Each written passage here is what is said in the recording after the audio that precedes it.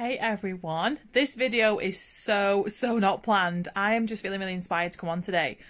So I'm suffering with a torn ligament in my ankle and it's obviously due to me starting to run. I've been running a mile every time and trying to obviously get better and better and shave off some time on my personal best.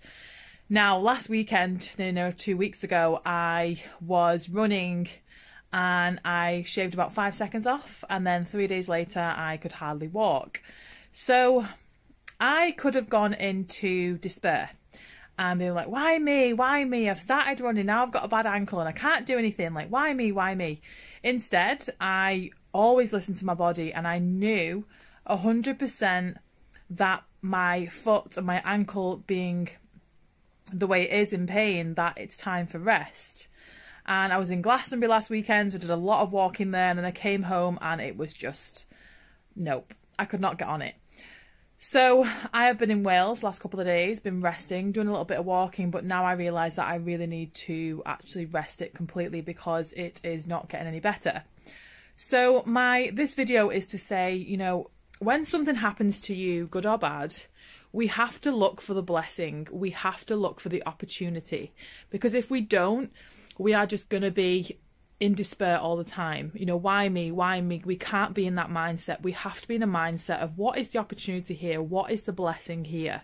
What is this teaching me? What is this telling me? What's the message? And that when you start to get in that mindset, it just changes your life because you're looking for the opportunity you're looking at the bright side. You know i've always been that girl who looks on the bright side of life.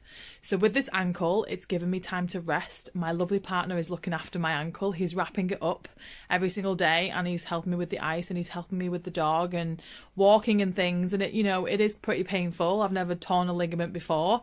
Now i kind of get what footballers go through when they torn ligaments and when they're playing football. But yeah this video is just to say it's okay. Like, I'm not going to fall into that negative mindset of, you know, oh, why me and poor me, feel sorry for me.